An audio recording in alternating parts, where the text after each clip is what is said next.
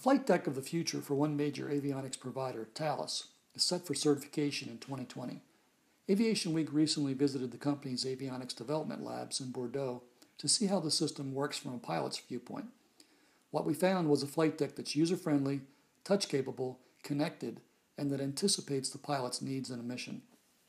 Remind, this solution is really based on three main pillars. The first one is the uh, capability to uh, to have a crew, what we call crew-centric design, be able to have very uh, very natural, very intuitive interaction for the uh, for the crew.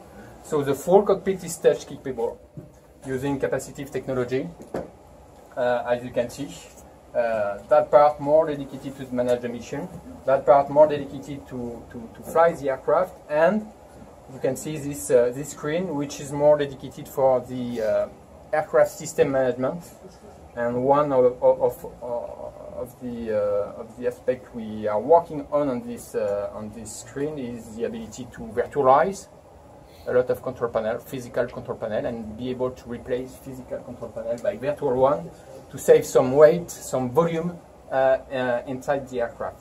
Uh, so you can see we, we have the ability to have very smooth, uh, very uh, the same kind of interaction you can do with uh, iPhone, for instance, or iPad. So zoom in, zoom out, rotate. The second aspect of this cockpit is to have a mission-minded design, so be able to introduce new way to manage more efficiently the mission.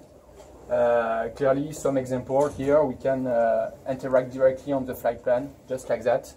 Uh, for instance, moving a waypoint, uh, uh, removing one, uh, just interacting directly with the screen. We add as well new features. An example here is the, the timeline, which does not exist today in any kind of cockpit that will help the pilot to better manage the, the time and all the action it will have to perform in the, uh, in the, during the flight.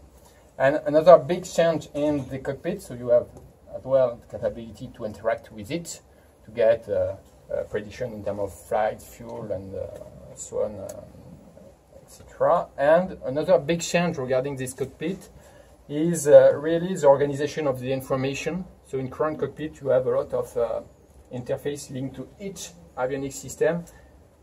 We have a big change here because we present uh, only the, the right information at the right time when it is needed. And uh, we, um, we have a, a, presentation of the information according to the task the pilot has to perform. For instance, I can perform whatever the system behind that delivers the information. It can be avionics system, but it can be as well open world system that can deliver information through the secure communication uh, system we have between avionics and open world that delivers the information to perform this task uh, efficiently. We are working on the next generation that uh, OLED and curved and uh, free, uh, free format uh, display, but it will be the next generation, not for the 2020 Internet service.